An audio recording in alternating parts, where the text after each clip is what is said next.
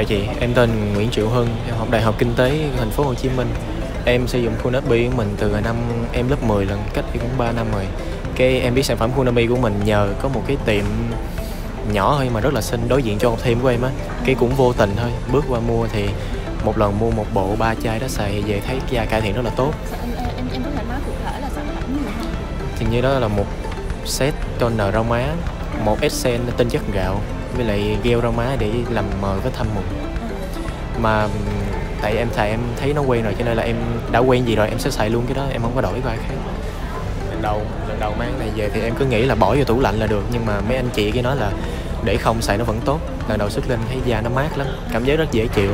Nó không có dính, không có nhờn, nó khô rất là nhanh. Lúc mà sức xong da sờ lên rất là mịn, rất dễ chịu.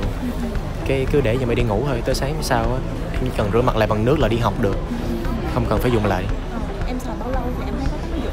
Ờ, cái lần nhanh nhất là em thấy xào xài sau 2 ngày là có tác dụng liền rồi.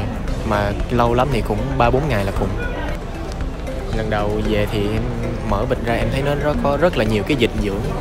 Cái em đắp lên mặt đắp xong thì đắp xong thì em lỡ lần đầu em bỏ thì em thấy tiếc lắm. Cái lần sau từ lần sau hỏi nhân viên bán hàng tận tâm chỉ thì em biết là cái này có thể xài lại được hai lần có khi ba lần.